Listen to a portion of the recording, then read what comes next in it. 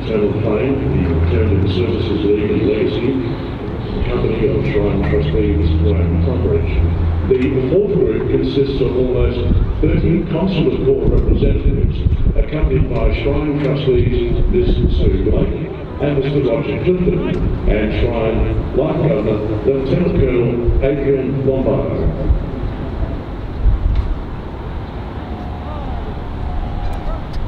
the consular corps, uh, followed by the Victorian Defence Service chiefs and representatives of the Victoria Police, accompanied by Shrine Trustee Colonel Michelle Campbell and Shrine Governor Group Captain Anna Hollywood.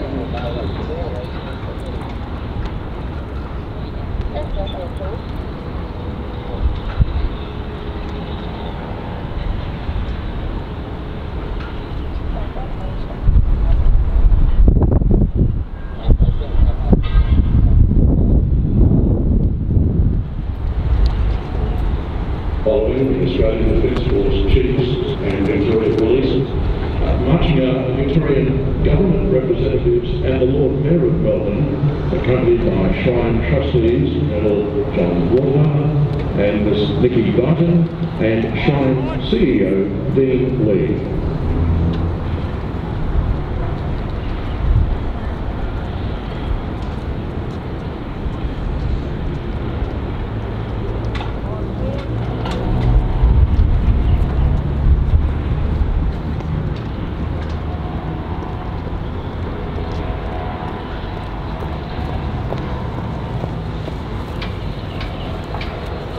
Following on behind the Victorian Government representatives, the final members of the official party, the Honourable Daniel Andrews, Premier of Victoria, the Honourable Melissa Price, representing the Prime Minister of Australia and the Federal Government.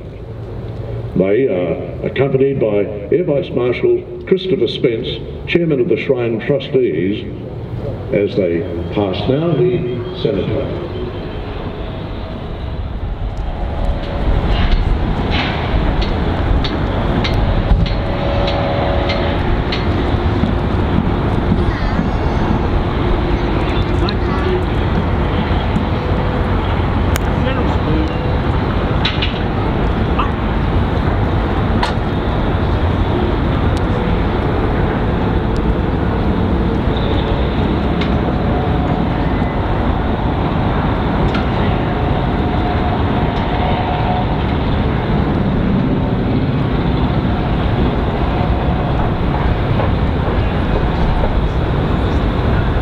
Black Party down. Black Party stand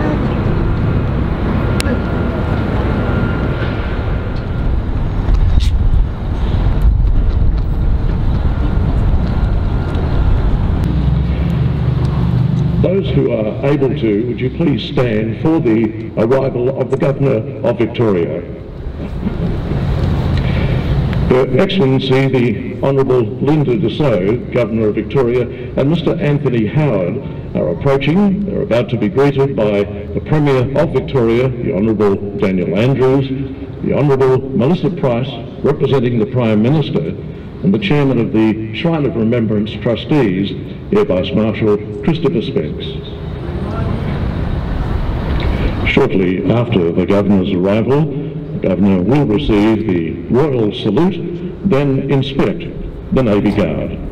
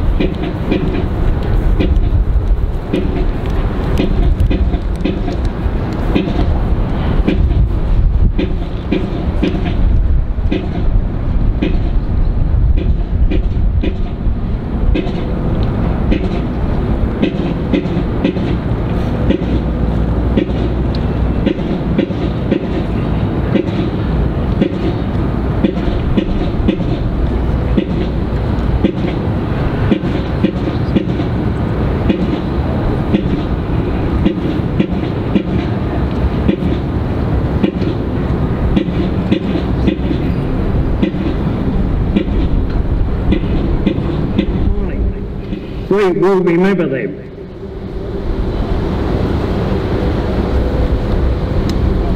Lest we forget.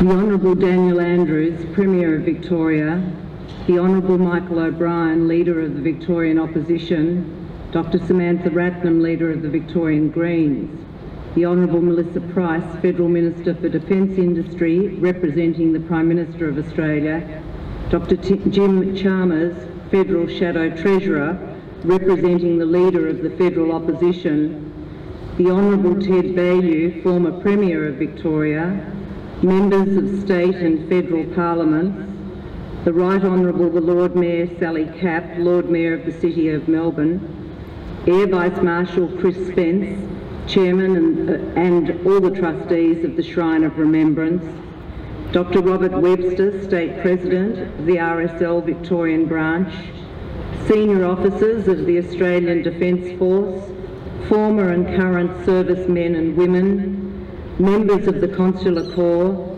distinguished guests, ladies and gentlemen and boys and girls, and it is wonderful to see so many uh, young Victorians with us this morning.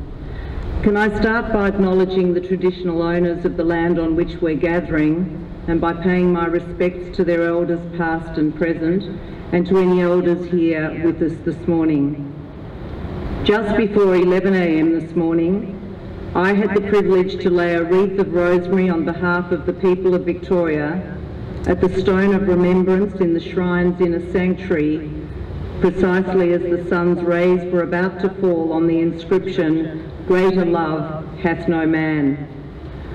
I was conscious that I was participating in a ceremony that has now occurred 100 times at the 11th hour of the 11th day of the 11th month in commemoration of the Armistice Agreement signed at 11am on the 11th of November 1918 to end the First World War. That day was, like today, a Monday, when the guns fell silent on the Western Front in France. Four years of brutal fighting ended. The costs of war were counted. More than 416,000 Australians had volunteered for service. More than 60,000 Australians were killed and almost another 160,000 were wounded or taken prisoner. The announcement that the war had ended brought joy and jubilance, mixed with deep sadness and reflection as to all that had been lost. One year later, the ritual of observing two-minute silence at exactly the time of day when the armistice was signed commenced. Some believe that it was an Australian journalist, Edward Honey, who inspired the commemoration.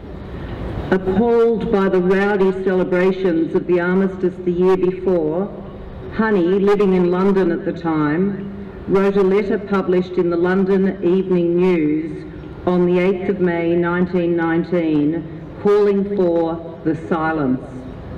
And so we in Australia, as in the countries we fought alongside, have stopped 100 times now on this day to remember the burden of war, its legacy, and the memories of loved ones and comrades. In Victoria, for much of those 100 years, this shrine has been a significant place to come together on this day. Indeed, it was on Armistice Day 1927 that its foundation stone was laid. And seven years later, on Armistice Day 1934, that the shrine was formally dedicated in front of a crowd of, of around 300,000 people, more than half of the population of Melbourne at the time, who gathered here to observe the silence. Today, the 100,000 Australians lost in all wars and conflicts and all those who served are commemorated on what is now known as Remembrance Day. If ever we need to uh, if ever we need to remember or we need a reminder of what binds us as Australians, it is these men and women. They are us. They've come from first Australian families, from families here for several generations, and from amongst the more recently arrived, from the cities and from small towns, from different backgrounds and of different ages. On Remembrance Day 1993, former Prime Minister, the Honourable Paul Keating, spoke at the funeral service for the unknown soldier in Canberra. He spoke of the lives lost. He spoke of the loss of their hope and energy.